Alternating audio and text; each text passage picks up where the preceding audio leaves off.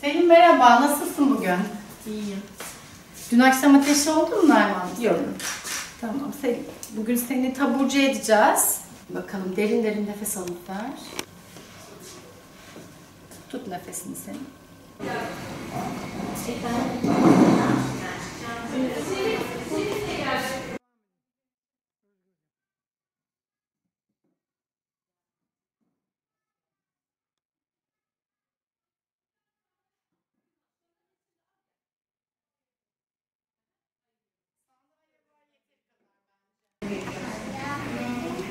Oğuzhan, Avşar'da, e, Tekazan'da.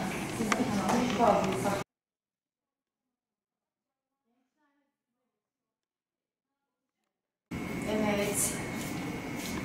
Merhaba. Şimdi size Aslan'ın hediyelerini anlatacağım.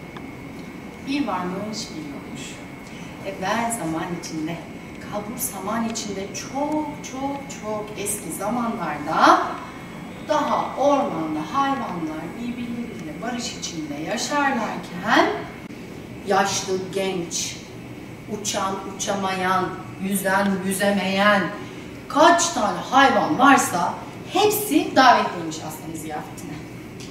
Erkek geyikler eve gelmişler. Hemen dişi geyiklere al şöyle kocaman bir taşın üstüne çıkmış ve hayvanlara seslenmiş.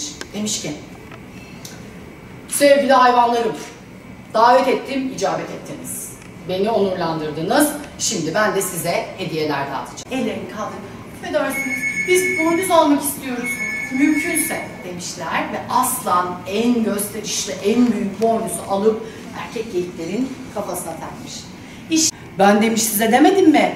Güçlü olanlar küçükleri ezmeyecekler diye. Sana ceza olarak boynuzların yerini değiştirmiyorum. Ağzında kalacak boynuzlar demiş. Güzel bir çift takım elbise vermiş ama en yakın iki arkadaşına en güzellerini vermiş. Aslanın en yakın iki arkadaşı. Şey, Kaplan. Çita. Kaplanla Evet. çita en güzellerini almış. Hadi penguen de almış o arada. Yılan o zaman da sinsiymiş. Sinsi sinsi minik minik bacaklarıyla gizli. Kurbağa bir çıkmış takım elbisesi yok. Ve o yüzden kurbağalar çıplak kaldıkları için çok utanırlar. Gündüz derelerin içine girerler. Gece karanlıkta çıplak çıplak çıkarlar ve şarkılarını söylerler. Burada bitmiş.